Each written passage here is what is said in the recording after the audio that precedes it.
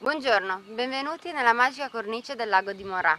Situata tra il Canton Vaud e il Canton di Friburgo, nella regione vitivinicola dei Tre Laghi, sorge la più piccola ma dinamica appellazione svizzera, Bouilly, 150 ettari coltivati da 24 vigneron, l'1% della produzione svizzera.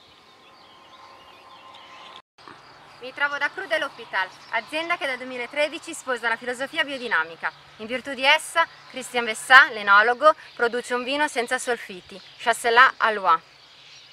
Color oro, profumi floreali intensi,